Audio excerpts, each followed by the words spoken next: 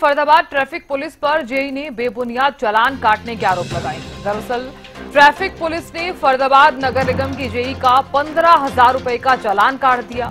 JEE के मुताबिक, गाड़ी के कागजात पूरे होने के बावजूद पुलिस ने चालान काट दिया है।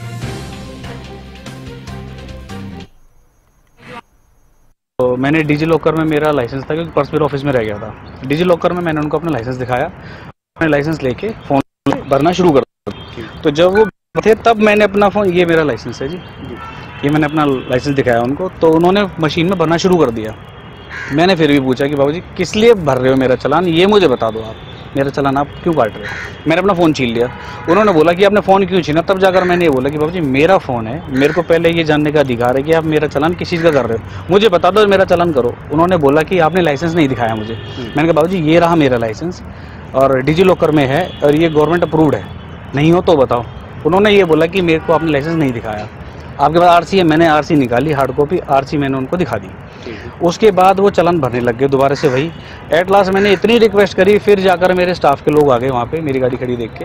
तो उन्होंने भी चीज़ का विरोध करा कि जी आप इनका चलान क्यों कर रहे हो? तब तक उन्होंने चलान ये नहीं बताया कि आप चलान मेरा क्यों कर रहे हो? उन्होंने मेरे से ये कहा कि जी जब स्लिप निकल जाएगी आपको पता चल जाएगा।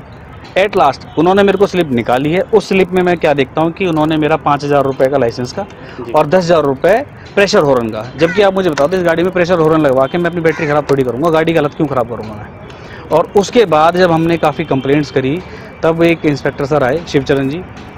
उन्होंने हॉर्न चेक किया। गाड़ी में किसी प्रकार का कोई प्रेशर हॉर्न नहीं था। सौ आदमी कम से कम वहाँ पर खड़े थे। उसके बाद भी उन्होंने कोई सुनवाई नहीं करी। मेरी गाड़ी का पंद्रह हज़ार का तलन काट के मैं